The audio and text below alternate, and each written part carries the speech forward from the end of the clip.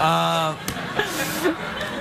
it's not a real thing. Don't panic. I just made it up. It's, it's, yeah, I'm just telling I you. was disappointed because I actually thought it was. No, it's not a real thing. It, I mean, it will be. Someone will make something up. They'll put it on the internet. It'll go nuts. But uh, no, it'll be fine. So what were you doing then? Have you- No, I've been having a great summer. Um, we wrapped in July, and I've had leisure, which I'm not used to. leisure, you say? What did you do at your Leisure. leisure time? Do I've you? done Uh, a little bit of traveling, and have you I- been to uh, Peru or Vancouver? These are places that are popular right now with the kids. No, I went to Napa. Napa is fantastic. Do you enjoy, enjoy drinking a lot of wine, like copious amounts, like a lot? Do you have an alcohol problem?